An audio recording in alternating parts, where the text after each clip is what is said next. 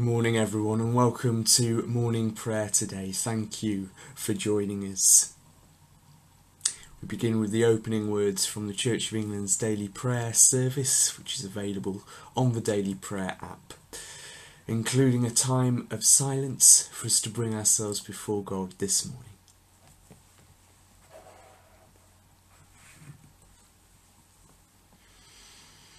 O Lord, open our lips and our mouth shall proclaim your praise.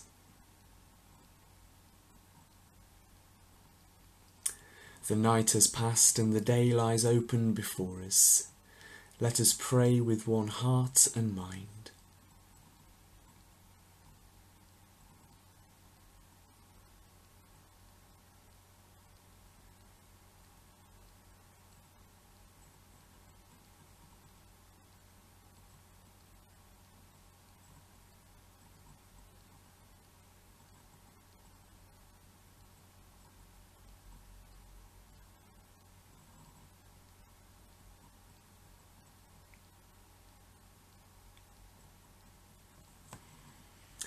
As we rejoice in the gift of this new day.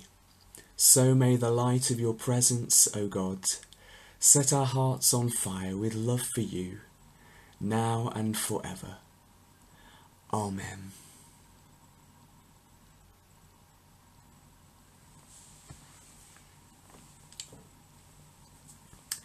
I've been speaking in morning prayer about prayer recently as we've said this week, the archbishops have called our nation, all Christians and people of goodwill, to another month of prayer during this month of February as we lift up before God, really intentionally, the many people who are in such great need in our country and our world at the moment due to the pandemic.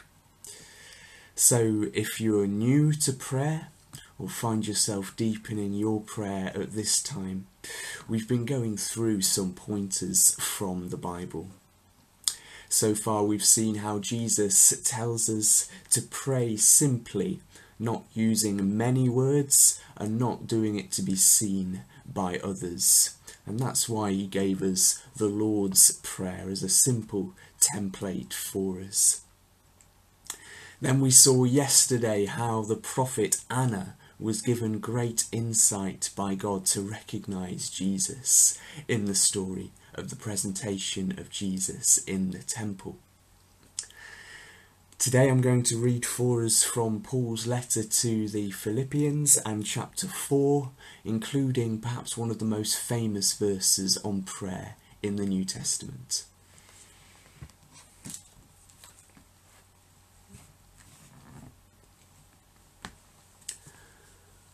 Rejoice in the Lord always.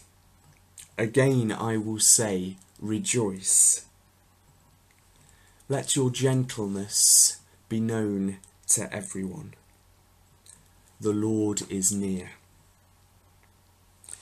Do not worry about anything, but in everything, by prayer and supplication with thanksgiving, let your requests be known to God and the peace of God, which surpasses all understanding, will guard your hearts and your minds in Christ Jesus.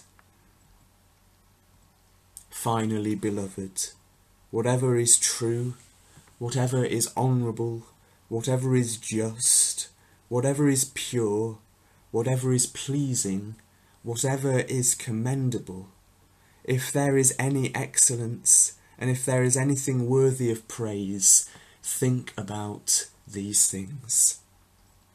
Keep on doing the things that you have learned and received and heard and seen in me, and the God of peace will be with you.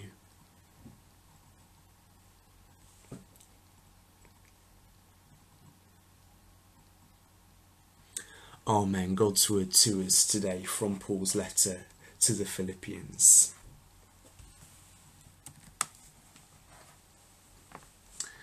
So many things in those few verses. Let your gentleness be known to everyone.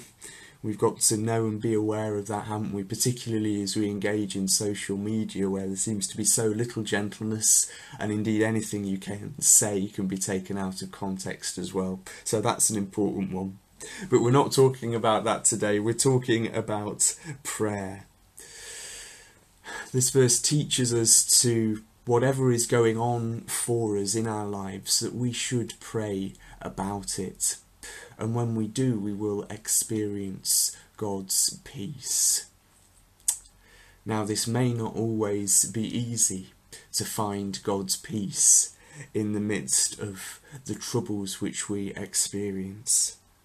But Paul says here that prayer is the way. And St. Paul is not speaking out of experience here. He is a man who has been in prison many times for his faith. He is a man who's had to travel long distances in dangerous circumstances by road and by sea. And he's had to go into new cities preaching the word of God where he has faced opposition and he's faced opposition even from within the church as well as those from without So he is a man who's had many worries in his life.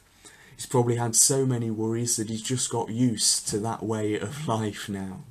And he's trained himself to bring everything before God in prayer and to receive the peace that passes all understanding. So it's really important for us to remember whatever we're going through, God is there with us. And He wants us to experience His peace in prayer. We don't just have a God for the good times. We don't just have a God for the hallelujahs and the praise the Lords. We also have a God for a where are you, Lord? For a please help me, Lord. For a Please be with me, Lord. in the Archbishop's prayer diary for yesterday, which they release each day for our national prayer, which they've called us to at six o'clock. They called us to pray for the elderly, the isolated, and the vulnerable.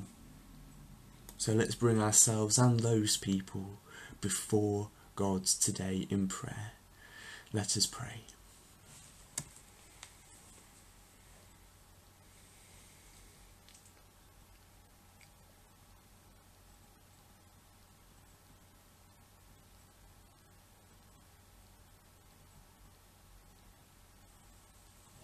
Lord God, I thank you for each person who's joining us here today in prayer.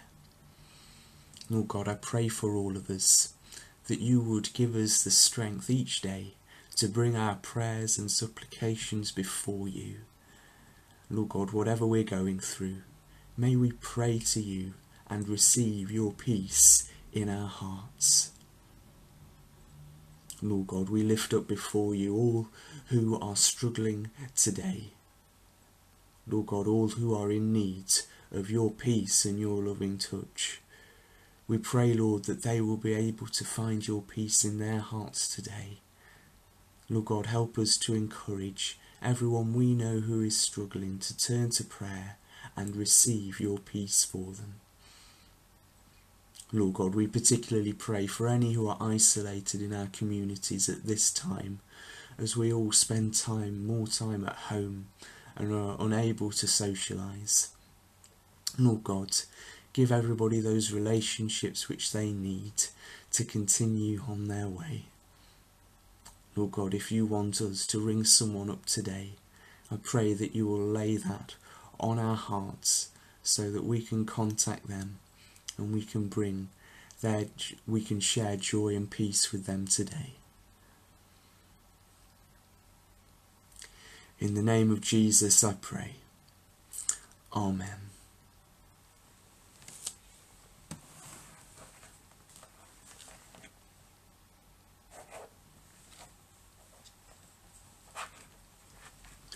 We join together in the words of the Lord's Prayer. Our Father in heaven, hallowed be your name. Your kingdom come, your will be done on earth as in heaven. Give us today our daily bread. Forgive us our sins, as we forgive those who sin against us. Lead us not into temptation, but deliver us from evil. For the kingdom, the power, and the glory are yours, now and forever.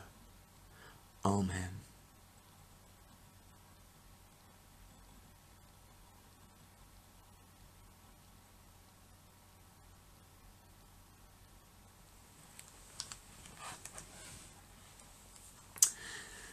Thank you all for joining us here this morning.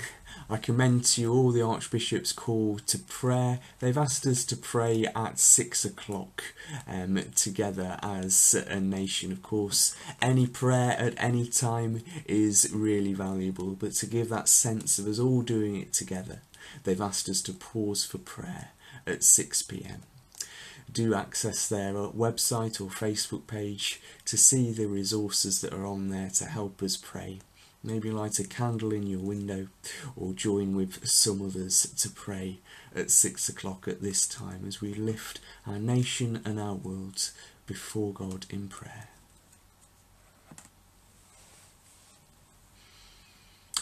The Lord bless us and preserve us from all evil and keep us in eternal life. Amen. Let us bless the Lord. Thanks be to God.